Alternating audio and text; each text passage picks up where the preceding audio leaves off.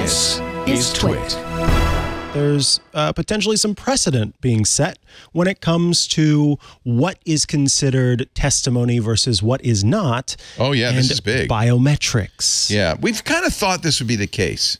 So the issue is can a police officer say, Give me your thumb, buddy, and push it on your phone and unlock your phone? Or hold it up to you, unlock it, and then look at your phone. Can they do that? Can they do it? Because, of course, we have a right to not incriminate ourselves, and so that is where the the disagreement happens: is putting my fingerprint down or looking at the phone uh, potentially incriminating myself.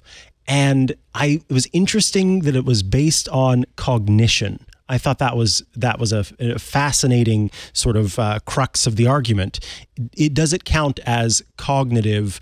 Um, is is it is it cognitive to actually take your fingerprint and put it on the phone to sort of unlock what's in your brain, which is where the uh, right to not incriminate yourself is protected?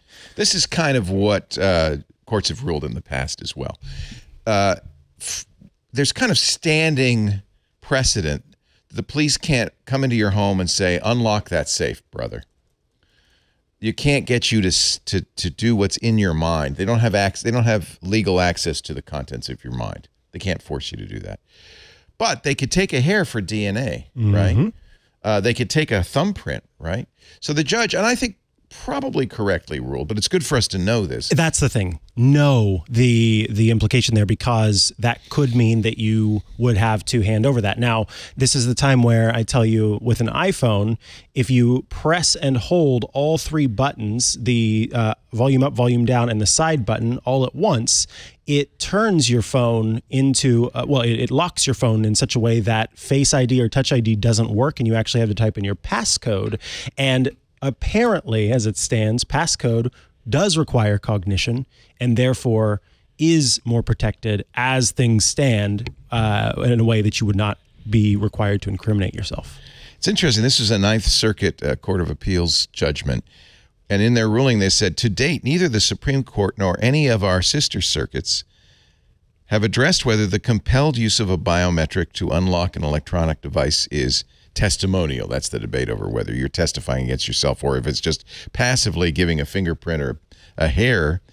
The, the panel said, yeah, it's not testimonial. It's just like taking a fingerprint.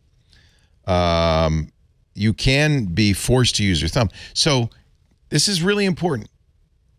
Have a good password on your phone. You could actually turn off Face ID or thumbprint, but I think it's so convenient people don't want to turn that off. But know that gesture that Mike had just mentioned to force your phone to go into the mode where you have to give it a password. And then in theory, Yeah, exactly. they can't say, "Son, what's your password?" And you, you could say, "Well, uh, the United States Constitution, Fifth Amendment says I don't have to give that to you, sir." And now, depending on how adamant they are, because what they, you know, you you could be at the border and they could say, "Well, you okay, you, can't. just rest cool your heels there in uh, airport jail for a while. yeah. we'll see what Who you, will break you say." first? Right. Game Uh, of chicken. I think it's probably if you're crossing the border, good idea not to have anything incriminating on your any of your electronics. I think that's a good bit of advice. Maybe don't have anything incriminating on any of your electronics ever. at all, ever. What a thought. Huh. What a thought. I'll have to keep that in There's, mind. an, there's an idea. Uh, so yeah, we we've actually talked about this over the years uh, because there hasn't been a definitive judgment. But I think the general consensus is anything you have in your mind, like a password, is protected. That's your private property, and uh, they can't compel you to reveal that. So that's good news. Uh, the other thing, kind of related, uh, is that the FISA spy program has been reauthorized, and Senator and President Biden has signed that into law. That was the renewal of Section 702. Now there are, were quite a few amendments to this that added some features. In fact, uh, there was some concern that it extends the FISA to cover more than it used to. Senator uh, Ron Wyden uh, and Josh Hawley introduced an amendment that would have taken language out that ex- and this is the this is a little tricky, but I'll, ex- I'll explain it.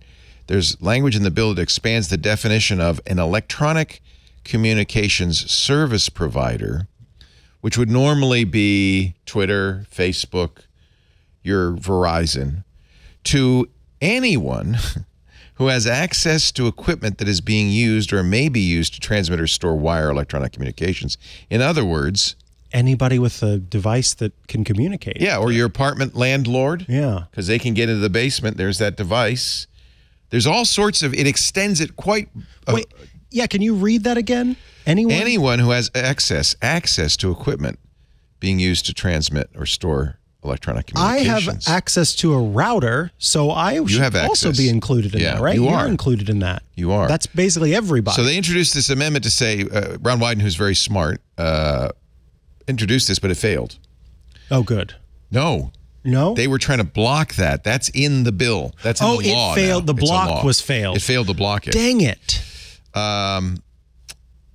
the Senator uh, uh, uh, Ron, Rand Paul and Dick Durbin introduced amendments imposing warrant requirements on surveilling Americans. Failed. Failed. Okay. So it's passed, and it gives the, the law enforcement this vast power to surveil us, which they've had. They've had ever since 9/11. That's This is just more This is the Patriot Act. Enshrining it, right? Yeah, well, it's just renewing. It has to be renewed uh, on a regular basis. It has been renewed.